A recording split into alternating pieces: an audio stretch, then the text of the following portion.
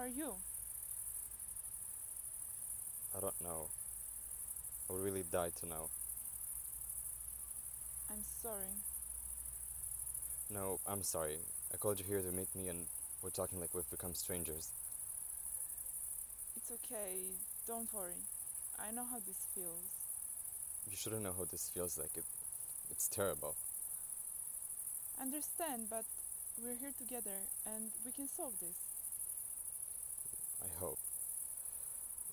It really just feels like I'm not going forward with myself. I'm, the day goes by and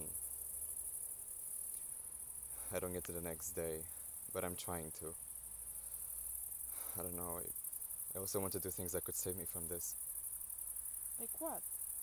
What do you want to do? I want to fly.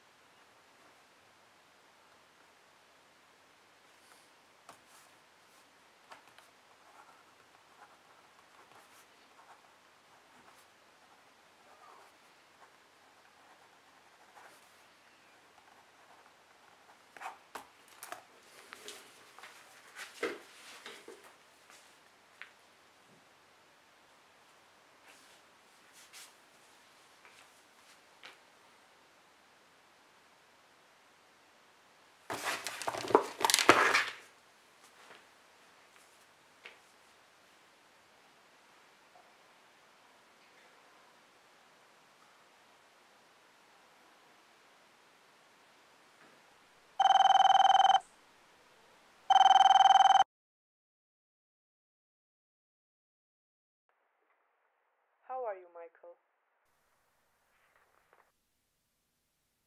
I'm okay. Oh, that's lovely. I'm really glad. What have you been doing lately? A whole bunch of things. Like what, Michael?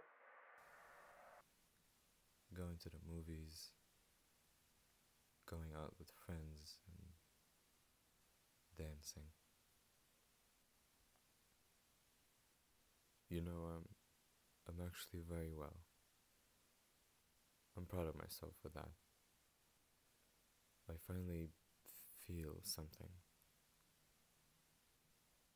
Something good is finally going to happen. I feel it. You have no idea how much that warms my heart, Michael. I'm proud of you too. Soon, everything's going to be over. I promise. You'll see.